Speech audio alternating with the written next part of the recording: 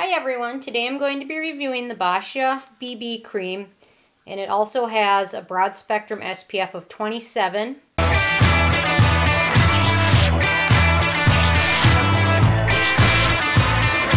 This item comes in light and then just the regular brand and I've been using this for about a year once I found out how much the uh, lack of wearing a sunscreen was aging my skin. I started wearing something with SPF every single day. And even though I live in Minnesota where it's very cold during the winter, that sun still is damaging your skin every day. So make sure to wear it if you leave the house. You definitely want to have this on. So, and for this item, you get 1.75 ounces for $38, but one of these tubes lasts a very long time. And I've also noticed on some of the reviews, people have said they're having some inconsistency in the product.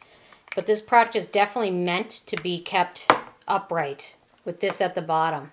If you store it laying down, it the moisture and the the uh, consistency of it can change a little bit. So you definitely want to keep it standing upright. But I love this. I use this in my foundation, which I create every morning for myself. I mix some of this, a primer, and a little bit of uh, pigment in it. But this is just, it's moisturizing, it's hydrating on your skin. I find it to be, I have very dry skin. I find this to be somewhat hydrating, unlike other foundations or beauty balms that can be drying on your skin. So I just love this. I feel like it gives you a little bit of a blurred, a little bit of a blurred look on your skin so you don't see blemishes or wrinkles or fine lines as much and it leaves it looking almost like dewy and radiant. So I just love this item. I love it. And you know, the other thing that's great about it is the fact that it has antioxidants in it and it has some skin reparative ingredients.